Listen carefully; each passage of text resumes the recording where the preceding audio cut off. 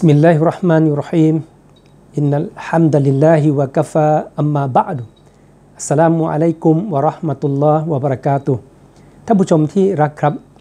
กลับมาในบทเรียน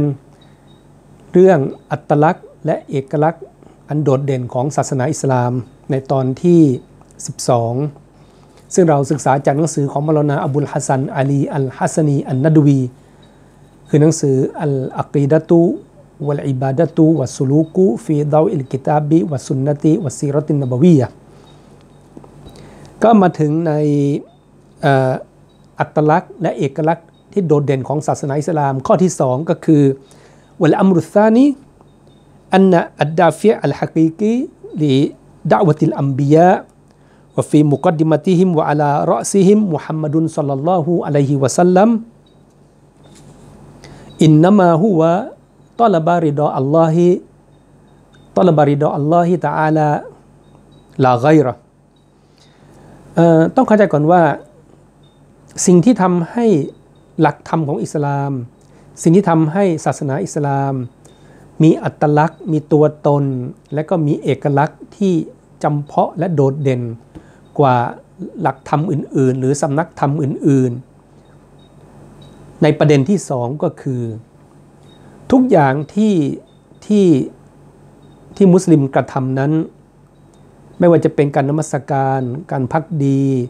การสาธยายพระคัมภีร์ การอ่านอันกุรอาน การบริจาคทาน การละหมาดการการถือศีลอด การการทำพิธีฮัจประกอบพิธีฮัจหรือว่าการทำดีต่อเพื่อนบ้าน การทำดีต่อเพื่อนมนุษย์ ทั้งหมดเนี่ยแน่นอน ทำดีต่อเพื่อนมนุษย์ทำดีต่อผู้ยากไร้ก็เนื่องจากว่าความสงสาร และจะต้องเดินควบคู่ไปกับอินนามาฮุวะตอลบาริดออัลลอฮิลาไกรก็คือกระทำไปเสียสละไปบริจาคไปเพื่อแสวงหาความโปรดปรานของอัลลอฮฺสุบฮานะฮูวะตาอัลละมิได้กระทำไปเพื่อความพึงพอใจของเพื่อนมนุษย์มิได้กระทำไปเพื่อที่จะเเพิ่ม ยอดของการกดไลค์ไม่ได้ไม่ได้กระทำไปเพื่อที่จะสร้างชื่อเสียง หรือเพื่อให้เป็นที่ยอมรับของสังคมหรือของกลุ่มชน หรือเพื่อที่จะให้บรรลุเป้าหมายและวัตถุประสงค์ทางโลกดุนยาอย่างไร เพราะฉะนั้นเราก็ได้เห็นถึงเรื่องราวของท่านศาสดานบีนูฮ์อะลัยฮิสสลาม หรือเรื่องราวของศาสดานบีโนอาที่ท่านได้ใช้ชีวิตอยู่บนโลกนี้ถึง 1,000 ปี หย่อนไปก็เพียงแค่50 ปี หรือว่า 950 ปี ซึ่งท่านได้เรียกร้องผู้คนไปสู่การนมัสการสู่การพักดี ท่านทำความดีต่อเพื่อนมนุษย์ในสังคมของท่านนั้นมิได้มุ่งหวังสิ่งอื่นใด เว้นเสียแต่มุ่งหวังความโปรดปรานของอัลลอฮฺสุบฮานุฮุวาตาลากามากรอัลลอฮฺตาอาลา ซึ่งอัลลอฮฺได้ทรงเล่าเรื่องราวของท่านนบีนูไว้ในสุรนู รือพระคัมภีร์อัลกุรอานบทว่าด้วยศาสดานบีโนอาองค์การที่ 9 ก็คือว่า ก็ละก็ละรับบีอินนีดะเอาตุเกามีไลลาวนาฮารอโอ้องค์พระผู้อภิบาลของฉัน แท้จริงฉันได้เรียกร้องเชิญชวนเพื่อนมนุษย์ แท้จริงฉันได้เทศนาเตือนสติพวกเขาทั้งกลางวันและก็กลางคืน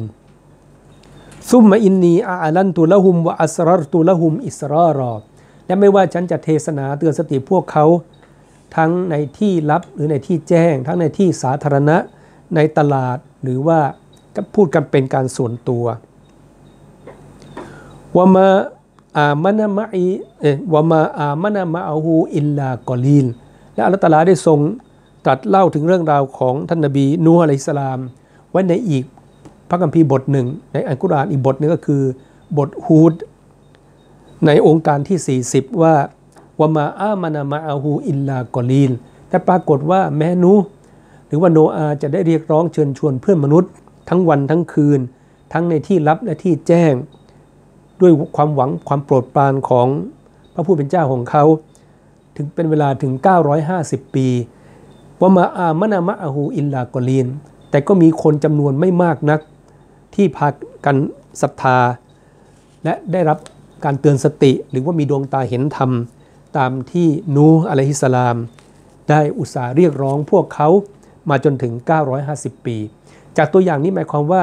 แม้ท่านศาสดานบีนูอะลัยฮิสสลาม หรือว่าศาสดานบีโนอาจะได้เทศนาผู้คนถึง 950 ปี ตลอดระยะเวลา 950 ปีเนี่ย คนส่วนใหญ่ในเมืองของท่าน คนส่วนใหญ่ในบ้านเมืองของท่าน พากันโกรธท่าน พากันชิงชังท่าน พากันขุดเคืองท่าน ที่เป็นเช่นนี้เพราะอะไร เพราะว่าสิ่งที่ท่านได้เทศนาตักเตือนพวกเขานั้น ไม่ถูกใจผู้คน เพราะว่าขัดแย้งกับวิถีชีวิตที่พวกเขาได้สืบทอดกันมา ขัดแย้งกับขนบ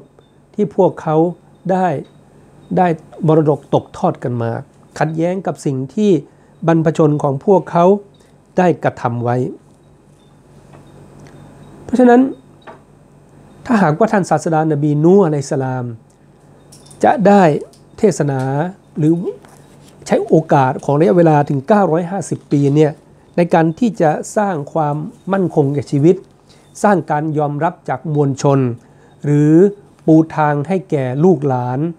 ที่จะได้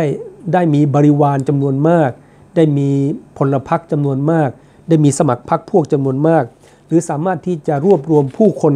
ขึ้นมาให้เป็นสมัครพรรคพวก และก็ทวงดุลอำนาจกับเจ้าผู้ครองนครในเวลานั้น ทวงดุลอำนาจกับผู้มีบารมีในบ้านเมืองเวลานั้น ก็ย่อมกระทำได้ แต่ท่านไม่ได้ไม่ได้ทำไปหลี ตอลาบิริดออันนาสไม่ได้ทำไปเพื่อที่จะแสวงหาความริดอหรือความพึงพอใจของอันนาสหรือมนุษยชาติหรือของเพื่อนมนุษย์ อินนามาหัว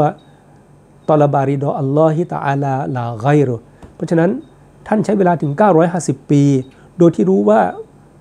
ในแต่ละร้อยปีที่ผ่านไป ในแต่ละ 10 ปีที่ผ่านผ่านไป ในแต่ละช่วงเวลาที่ผ่านไปนั้นจำนวนของผู้ที่ที่ขุนเคืองท่าน จำนวนถึงผู้ที่ชิงชังท่าน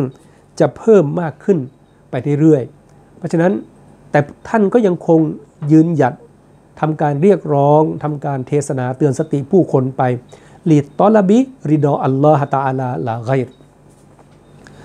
เพียงเพราะว่าท่านนั้นปรารถนาความโปรดปรานของอัลลอฮฺสุบฮานุวตาลา และไม่ได้ปรารถนาความพึงพอใจของเพื่อนมนุษย์ เพราะฉะนั้นจากอัตลักษณ์และเอกลักษณ์ ประการที่สองในศาสนาอิสลามนี้ ซึ่งเราก็จะได้เป็นข้อคิด ข้อเตือนสติ ได้เป็นไอบรอได้เป็นดารสบทเรียนของเราในวันนี้ทำให้เราได้เห็นว่า ในบรรดาหลักธรรมจำนวนมากที่มีอยู่ในโลกนี้ ล้วนแต่มีข้อดี ล้วนแต่มีสิ่งอันเป็นอันเป็นธรรมะ ที่มีประโยชน์ต่อเพื่อนมนุษย์ แต่สิ่งที่ทำให้แตกต่างกันระหว่าง หลักธรรมในสำนักธรรมะทั้งหลายหรืออื่นๆ กับศาสนาอิสลามนั่นก็คือว่าอิสลาม